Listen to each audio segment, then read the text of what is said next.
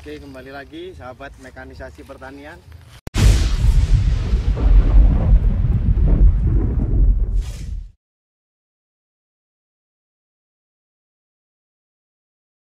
Oke, kembali lagi sahabat mekanisasi pertanian.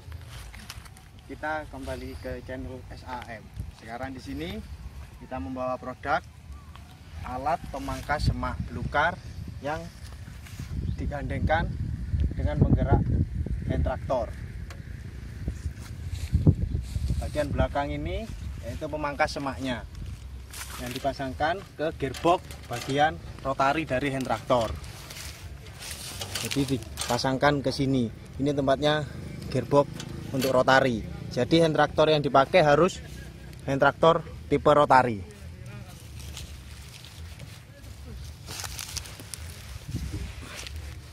oke dengan mesin penggeraknya ini 10 PK mesin tipe bensin eh, diesel kapasitas 10 PK kita barusan sudah mencoba ini untuk hasilnya seperti ini.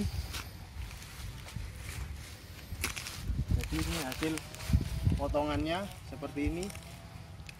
Ada yang rata dengan tanah ada yang juga keluar karena tekstur lahannya bergelombang.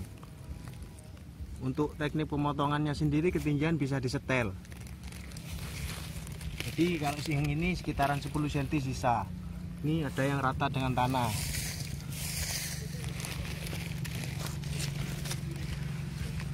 Untuk penyetel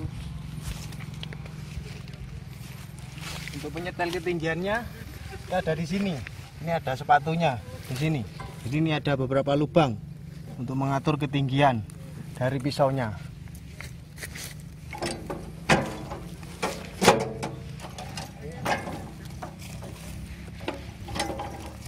Ini bisa kita ini susunan pisaunya. Jadi nah ini sepatu ini untuk mengatur ketinggian. Ketinggian potongan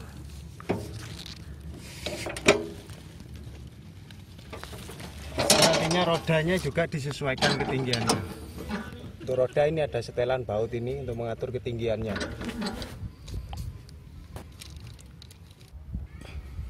Jadi di sini untuk bagian pemangkasnya sendiri ada tuas penghubungnya. Jadi dia bisa dinetralkan atau dihubungkan sesuai kebutuhan. Ketika saat belok, misalkan butuh posisi netral, jadi tuas ini tinggal digeser. Nah ini bisa digeser. Jadi tuas ini posisi netral dan posisi jalan. Jadi digeser ke kanan atau ke kiri.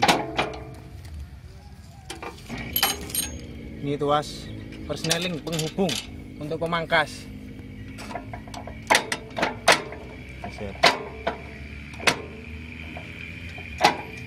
untuk yang atas ini persneling dari gearbox hand traktor ini persnelingnya